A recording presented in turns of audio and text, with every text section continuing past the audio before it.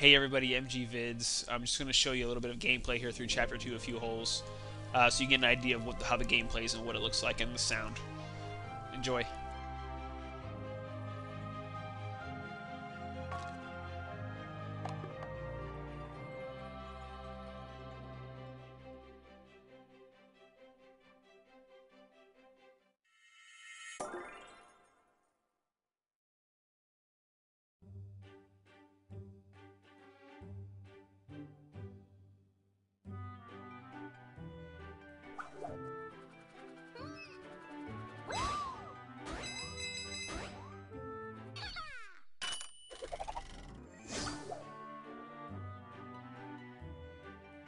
Thank you.